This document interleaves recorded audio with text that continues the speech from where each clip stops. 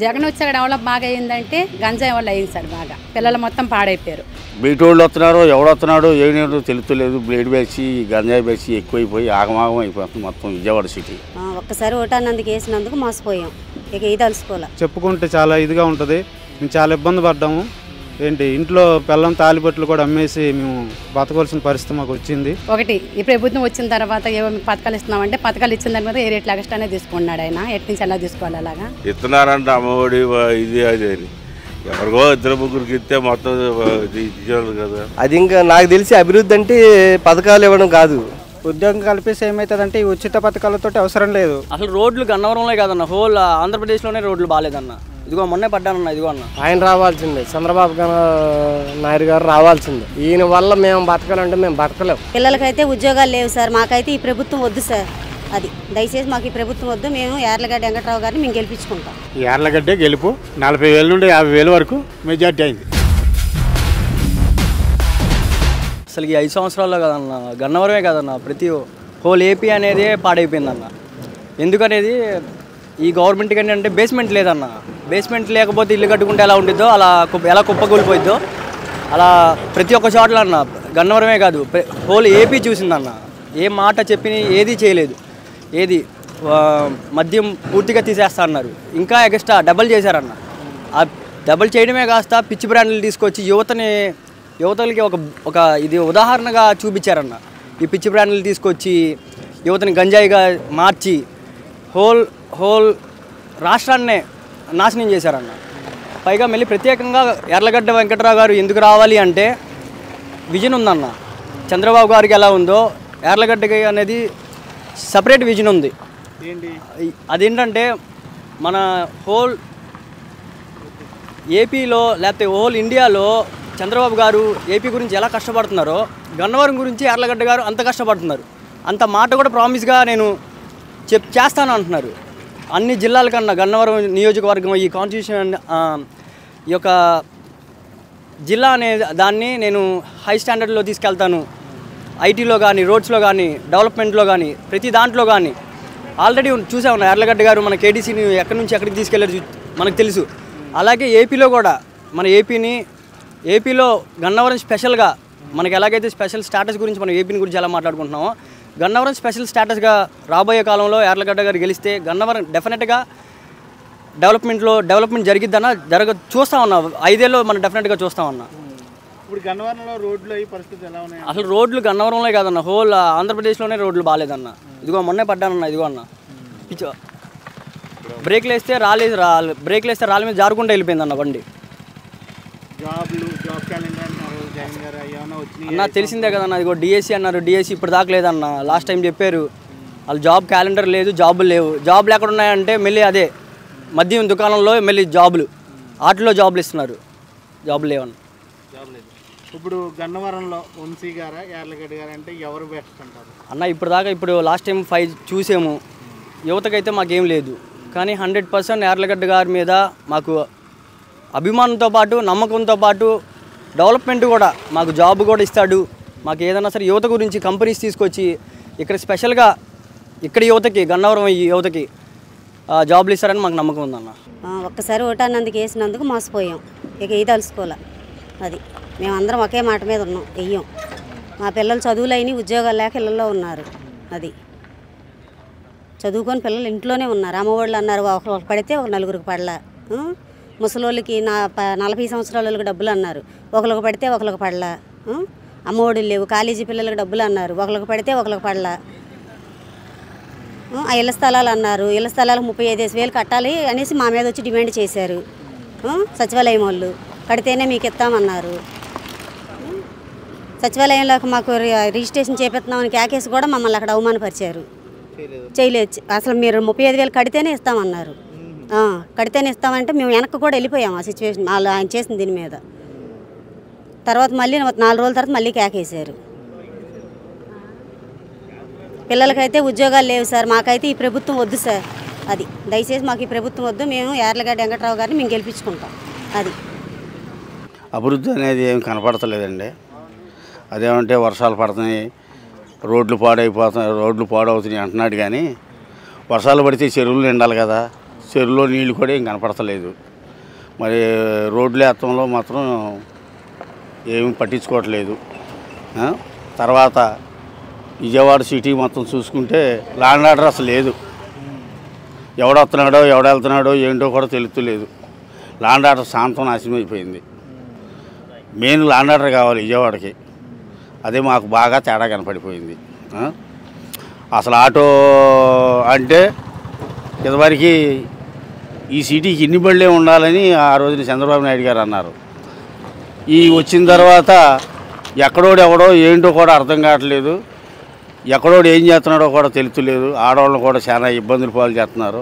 ఈ సిటీ బళ్ళు ఇన్నే ఉంటే మాకు అవగాహన వచ్చేది. అది బయటోళ్ళు వస్తున్నారో ఎవడొస్తున్నాడో ఏమేమో తెలుతులేదు బ్లేడ్ బ్యాచి గంజాయి బ్యాచి ఎక్కువైపోయి ఆగమాగం అయిపోతుంది మొత్తం విజయవాడ సిటీ. గన్నవరం ఒకటే కాదన్న ఆంధ్రప్రదేశ్ మొత్తం కూడా చాలా ఇబ్బందుల్లో ఉంది. ప్రజలు కూడా చాలా ఇబ్బంది పడుతున్నారు. నేను ఒక టాపీ మేస్త్రిని. మేము చాలా పనులు కూడా మాకు చంద్రబాబు నాయుడు గారు ఉన్నప్పుడు చాలా పనులు కూడా మాకు సక్రంగా ఉండే పనులు. చక్కగా పని చేసుకున్నాం. జగన్మోహన్ రెడ్డి వచ్చిన తర్వాత మాకు ఇసుక ఆపేసి కార్మికులకు చాలా ఇబ్బంది జరిగింది.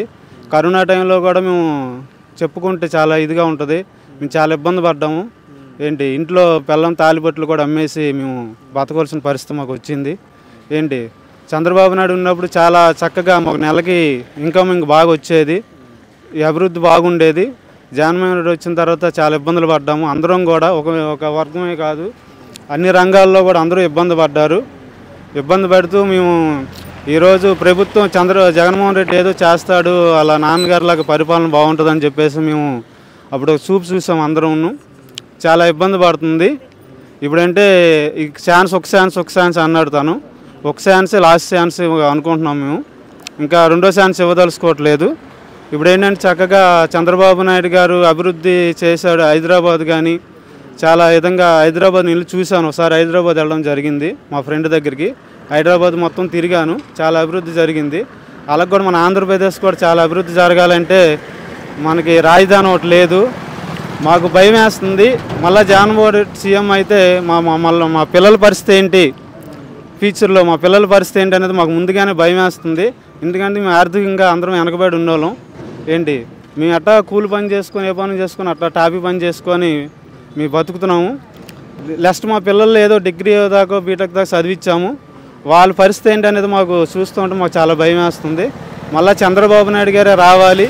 చంద్రబాబు నాయుడు గారు పవన్ కళ్యాణ్ గారు వచ్చి అభివృద్ధి చేస్తారని చెప్పేసి మేము చాలా నమ్మకం ఉంది మాకు గట్టిగా. ఐదు సంవత్సరాల కారణం మాకు ఏమి కూడా అభివృద్ధి పొందలేదు. ఎవరి వల్ల మేమేమి ఇదే ఏంది లేదు. ఒకటి ఈ ప్రభుత్వం వచ్చిన తర్వాత ఏవో పథకాలు ఇస్తున్నామంటే పథకాలు ఇచ్చిన దాని మీద ఏ రేట్లు ఎగస్ట్రానే తీసుకున్నాడు ఆయన? ఎటు నుంచి ఎలా తీసుకోవాలి అలాగా? దీనివల్ల అయితే మాకు ఉపాయం అయితే ఏం లేదు. నవరత్నాలు అందరికీ రావట్లేదు కదా సార్. వచ్చిన వాళ్ళకి వస్తున్నాయి రాని వాళ్ళకి ఏమీ లేదు. వచ్చిన వాళ్ళకి రాని వాళ్ళకి ఒకే రేట్లో ఉన్నాయి వచ్చిన వాళ్ళకి రాని వాళ్ళకి ఒకే సంపాదనలకు చూపించట్లేదు కదా. గ్యాస్ బండ్లు పెట్టాడు గ్యాస్ బండ్ పదకొండు వందలు తీసుకున్నాడు. కనీసం వంద రూపాయలు కూడా మాకు అకౌంట్లో పడట్లా. ఇదివరకు ఆరు వందల రూపాయలు ఏడు వందలు చంద్రబాబు నాయుడు పరిపాలన వస్తుందంటే రెండు వందల నూట యాభై వేసేవాళ్ళు కనీసం పైసా ఇట్లేదు పదకొండు వందల యాభై రూపాయలు గ్యాస్ బండ ఇప్పుడు ఏం తగ్గించారు? వెయ్యి యాభై ఇప్పుడు. వెయ్యి యాభైలో కూడా వంద రూపాయలు మాకు వచ్చిందైతే వచ్చింది అయితే ఏం లేదు.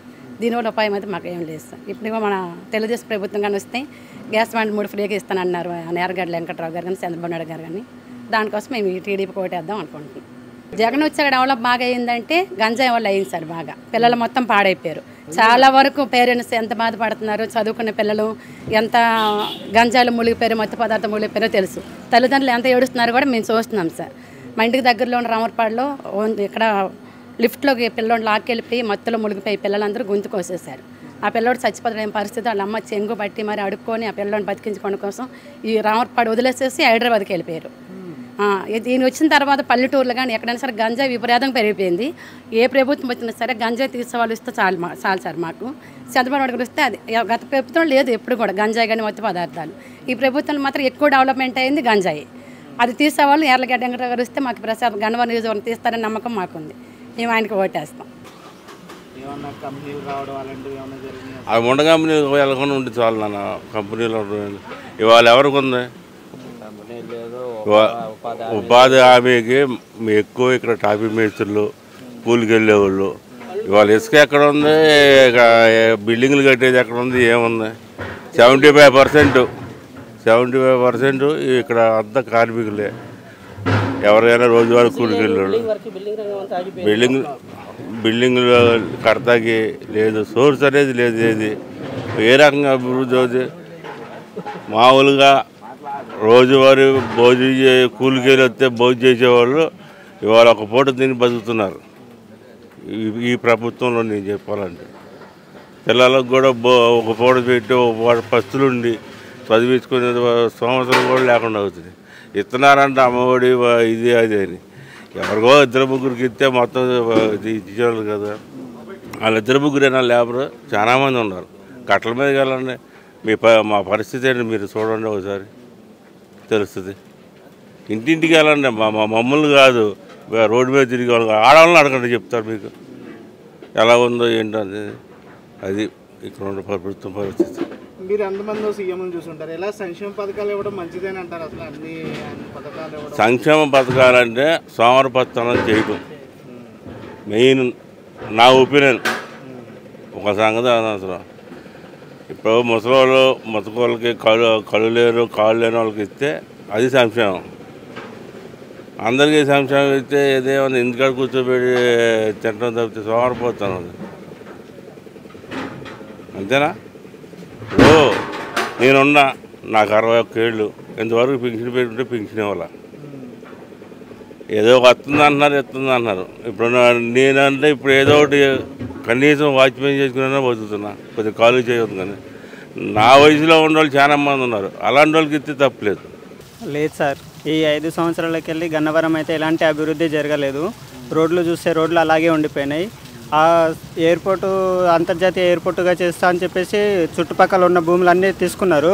కానీ ఎలాంటి అభివృద్ధి జరగలేదు. ఇంతకుముందు గత పాలనలో చంద్రబాబు నాయుడు గారు ఉన్నప్పుడు ఎలా ఉన్నదో ఇప్పుడు కూడా ప్రజెంట్ అలాగే ఉంది. మన బాబు గారు వస్తే ఏమవుతుందంటే ఈ రోడ్లు కానీ ఈ ఐటీ రంగాలలో ఉద్యోగాలు కానీ అన్నీ కూడా మంచిగా అభివృద్ధి జరుగుతాయి అని కోరుకుంటున్నాను సార్. మరి జాబ్ క్యాలెండర్ అని చెప్పి జగన్ గారు చెప్పారా? జాబ్ క్యాలెండర్ జాబ్ క్యాలెండర్లు అలాంటివి అయితే ఇప్పుడు ఏం లేవు. మొత్తం అందరూ గంజాయికి అలవాటు పడిపోయినారు. నాతోటి స్నేహితులు కూడా గంజాయి తాగి చాలామంది అది ఎఫెక్ట్ బారిన పడిపోయారు. వాళ్ళ తల్లిదండ్రులు ఇప్పుడు చాలా ఇబ్బందులు పడుతున్నారు. ఇప్పుడు ఆ గంజాయి అనేది మాన్పించాలి సార్ ముఖ్యంగా. వాళ్ళకి ఏంటంటే కాస్త చిన్నదో పెద్దదో ఒక ఉద్యోగం అయితే కల్పించాలి వాళ్ళకి.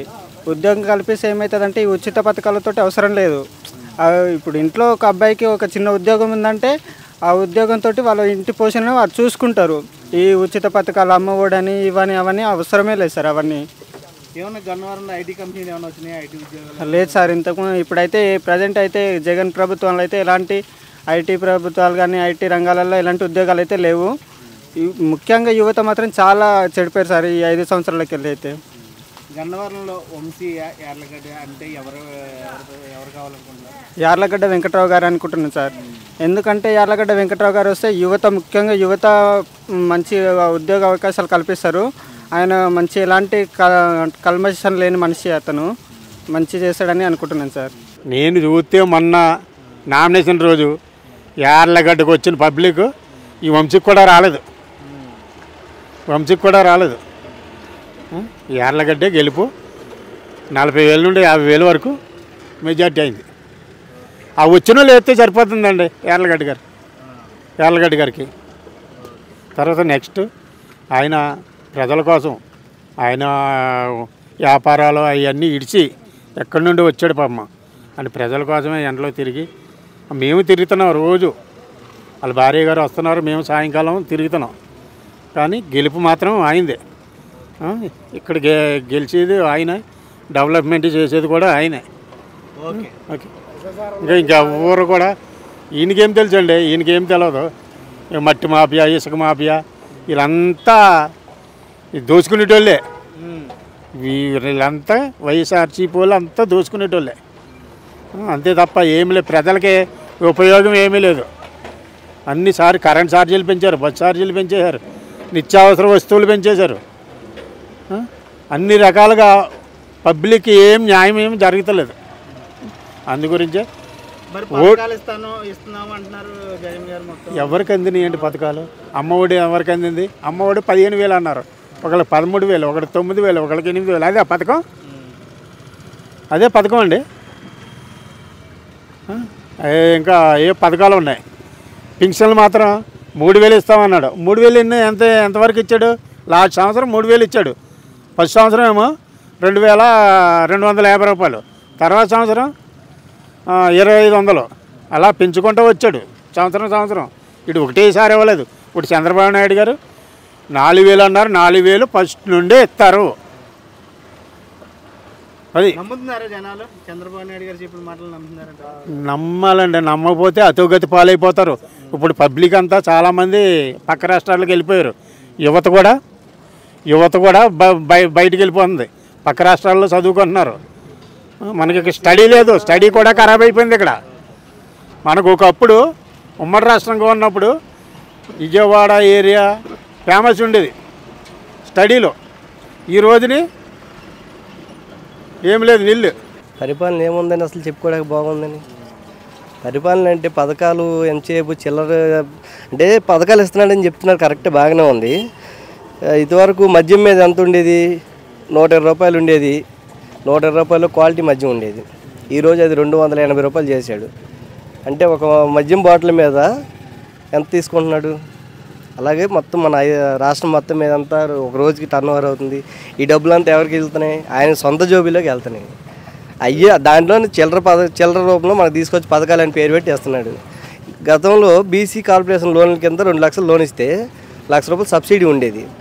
అది తీసాడు దాన్ని పథకాల రూపంలో ఒకరికి ఇచ్చేది నలుగురికి పంచాడు. అది ఇంకా నాకు తెలిసి అభివృద్ధి అంటే పథకాలు ఇవ్వడం కాదు. రాజధాని అన్నాడు. లేదు. సరే మూడు రాజధాని అన్నాడు. ఆయన ఆయన కోరిక మేరకు మూడు రాజధానులు ఏదో ఒకటి పూర్తి చేయాలి కదా. చేయలేకపోయాడు. చంద్రబాబు నాయుడు గారి పరిపాలనలో అప్పటికప్పుడు అంటే తెలంగాణ నుంచి మన ఆంధ్రాకి వచ్చేసేటప్పుడు తర్వాత అమరావతి కోసం రాజధాని కోసం ముప్పై మూడు వేల ఎకరాలు ఆయన కొన్నాడు. ఈయనేం చేశాడు? ప్రతి ల్యాండ్ ప్రభుత్వం సచివాలయం కూడా ఈరోజు తాకట్టు పెట్టాడండి. ఇంత అన్ని తాకట్టు పెట్టి ఉన్నవి లేని ఊర్చి మార్చి పేదలకు ఇచ్చి సెంట్రల్ గవర్నమెంట్ వచ్చి లక్ష కోట్లు ఇచ్చింది పేదలకు ఇల్లు కోసం. ఈయనేం చేశాడు? సెంటు ముప్పై వేలు చేసుకొని లక్ష రూపాయలు చూపించారు సెంటు అంటే మన మా గన్నవరం నియోజకవర్గంలో మాకు తెలిసింది మేము చెప్తున్నాం. నున్నలో సెంటు ముప్పై వేలు అది.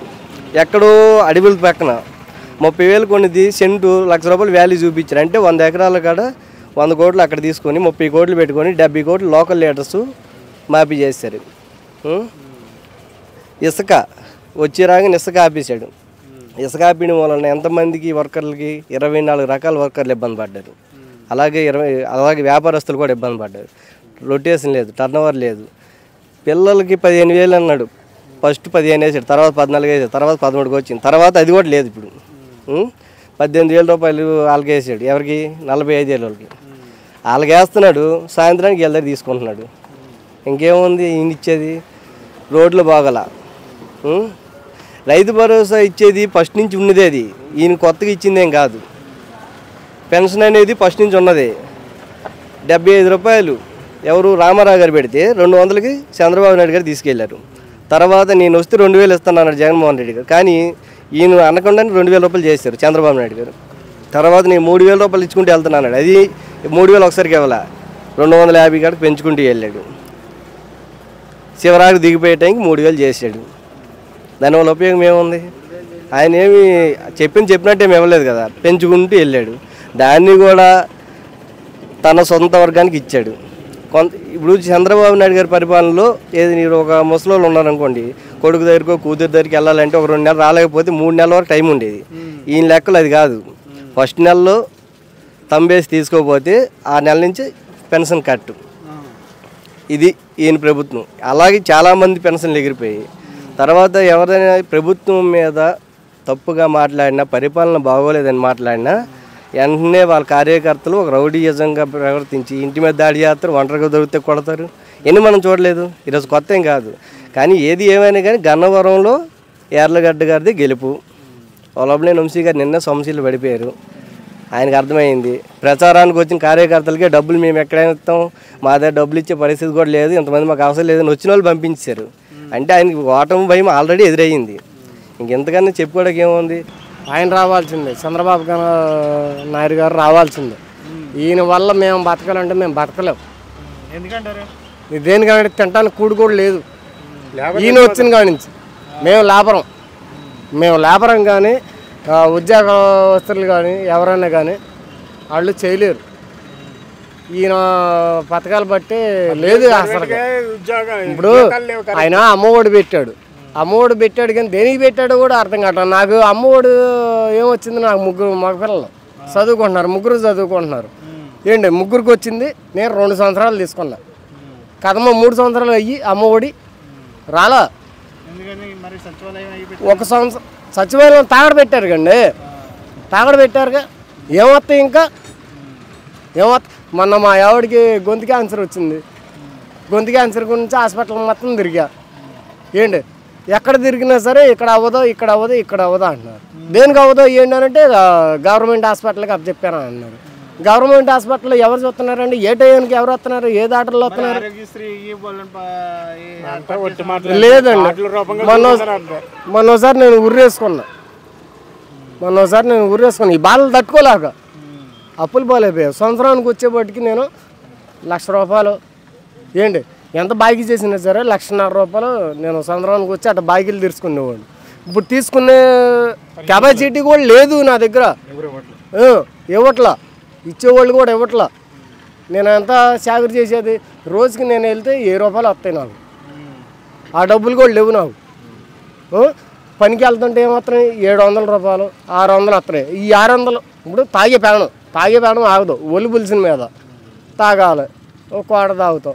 క్వార్టర్ పోయి ఏమవుతున్నాయి? ఈ ఆరు వందల్లో ఐదు వందల రూపాయలు అటు వెళ్ళిపోతున్నాయి. రెండు వందల రూపాయలు. తాగడం మానేస్తారని చెప్తున్నారు కదా మరి. లేదు.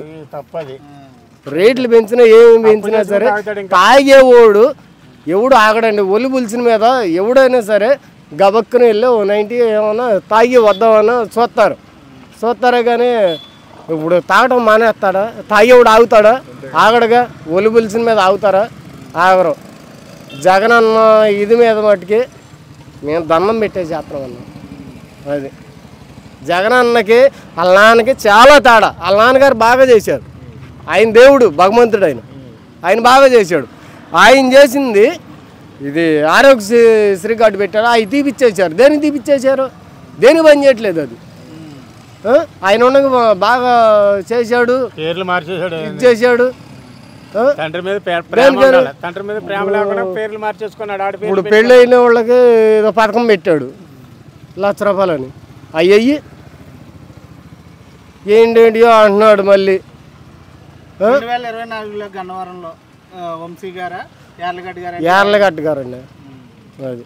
ఎందుకనంటే ఆయన పదంలో లేకపోయినా సరే ఆయన చేస్తున్నాడు ఉమ్, చేస్తున్నాడు ఆయన. బాగా చేస్తున్నాడు ఆయన గురించి మటుకు మనం ఇది ఇది వంశీ మటుకి ఏది చేసింది లేదు. టీడీపీ పాలనలో ఉన్నప్పుడు మటుకు చేశారు వంశీ గారు. ఆయన్ని ఇదిగా అనుకోకూడదు మనం. ఈ పాలనలోకి వచ్చేపటికి ఆయన చేసింది ఏమీ లేదు. జరిగిన రెండు వేల పంతొమ్మిది ఎలక్షన్ కానీ చూసుకుంటేనండి అసలు గన్నవరం నియోజకవర్గంలో అభివృద్ధి అనేది లేదు. అసలు పోయినసారి అసలు మేము వైసీపీ చేసేవాడిని అయినా సరే చాలా దుర్మార్గంగా చేశారు అసలు. ఒక్క కంపెనీ అనేది రాలేదు.